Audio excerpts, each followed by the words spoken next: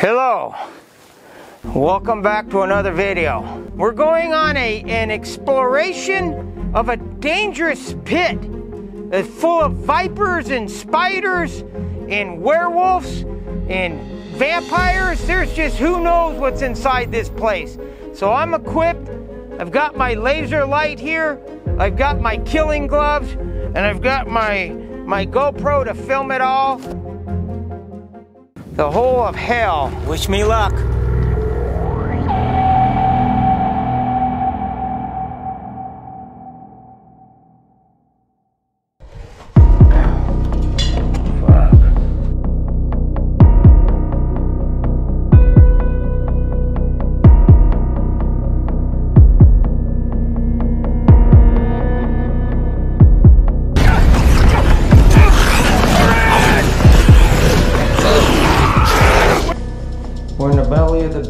Now.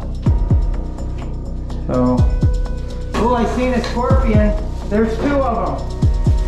There's two live scorpions here. He's mad. He's coming to fight. He's coming to get me. Ah! Look at him. He's coming. Oh my God. He's running. This is our cistern that I'm cleaning out.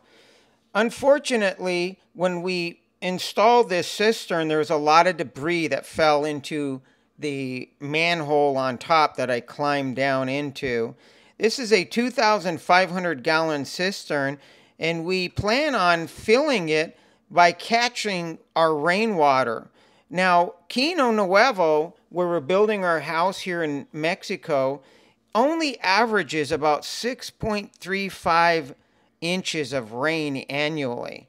So it's not going to be enough rain to really sustain us uh, as far as capturing water, I don't believe. And so we will have to haul some water in, which is not a problem. Right down the road, there's a, a large well, and it's, it's very close to us and nearby. And there's a truck that comes through Rio Azul a couple times a week, and uh, we can just top off this tank anytime we need. We're going for a little walk, a little stroll in the neighborhood, right? Yeah, but we don't have neighbors. No, it's true. We don't, do we, babe? Not yet. No, we we we like it that way, but I'm pretty sure that this place is going to continue to grow. A lot of the area's got a lot of neighbors. We just happen to. We have some neighbors. They're just not right next to us. They're spread out the way we like it. We're going for a little, a little, a little hike. Not really a hike, just a walk. Because we don't have too much time right now because tomorrow we go, we back to Tucson. Yeah, tomorrow we're leaving to Tucson. So we thought we'd get out for our last little stroll, a little stroll in the desert.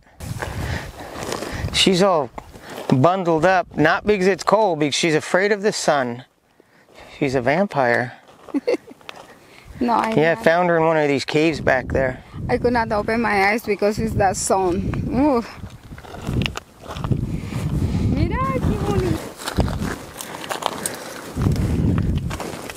If you notice the way these cactus are, they're not the saguaro cactus like in the Sonoran Desert in Tucson, Arizona, where I'm from. This, the the saguaro cactuses, they have like ribs all through their their structure. They've got little tiny like ribs is what we call them. But when when they die, they have the ribs. When these cactus die, but when they die, it's more like a, a the wood of like a tree. It's just, it's a, it's one solid piece of wood for most part, kind of like a tree trunk that's inside of each one of these cactuses. So it's, it's a little bit different. As you can see behind me, I stroll the panels out along this wall right here and it's, it's been working pretty good for us. We get about 800 watts thereabouts. Um, we don't really position or move the panels We just leave them the way they are, and that's about the average that we get through the day. And we don't use very much power during the winter inside. Okay, so we have two things that run 24 by 7 when we're here off grid. That is the the refrigerator, and then we have the Starlink that the router for the Starlink that runs continuously as well. When I return, which is one month, it'll be an excruciating wait for me, waiting one month to come back to my house here in Mexico. But in one month, I will return, and all of this will have yeso, which is this white stuff here, this white lime base. All the walls here will have yeso on it. There'll be a window right here. So this whole bathroom is going to get yeso on this side. It'll have the yeso, the white texture. We'll have uh, all this completed.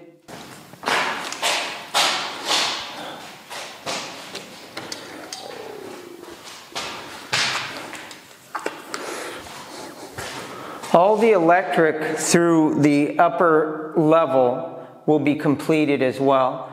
There, there's already wire pulled in this area, but downstairs, all the wiring will be pulled downstairs. The main electric will be installed in the panel, and the panel's getting moved over. We'll show you that. But all this will get completed, so all the electric, all these little things will get fixed. All this plumbing, all the wires will get pulled in through here. We'll have switches completed.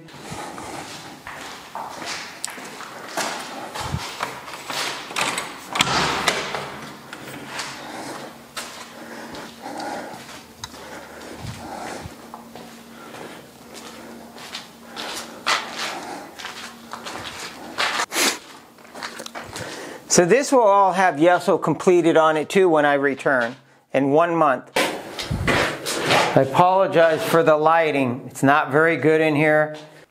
This is where the toilet's going to be. So as you can see, this is a, it's probably about six, seven inches high, but that's uh, the way we had to design the, the toilet so it'll properly flush. So it'll it's at an incline of a down motion. I'm not really happy with the fact that the toilet has to be a foot higher than the rest of the level upstairs. But I'll tell you one thing, it's a lot better than this toilet, which is what I had before. Look at this thing. That's my toilet. I felt like I was being potty trained all over again, and uh, I didn't like it. This is a better toilet.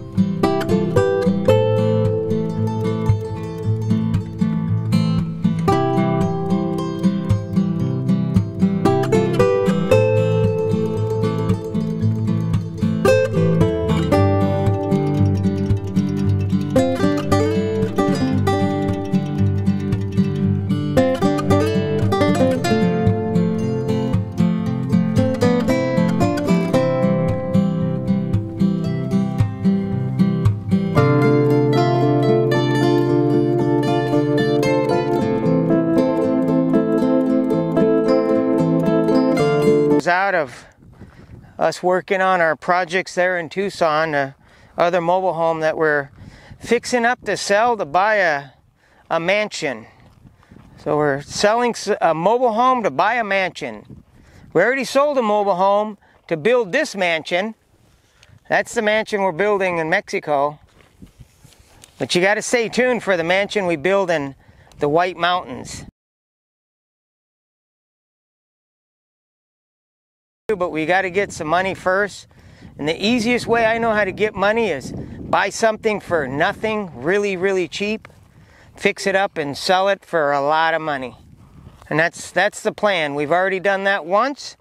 We paid uh, $35,000 for a mobile home and fixed it up, and we sold it for 248 uh, $258,000.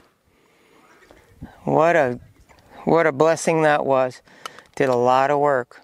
A lot of work. It took us took us a couple years working on that place to get it just absolutely ready to sell. Took a lot of work, and this one is going to take a lot of work too. We've been working there for what about six months at least, probably more than that.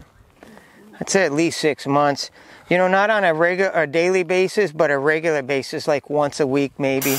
Um, usually one or two days a week we're working on it. But thank you for watching our videos, and we'll see you on the next one.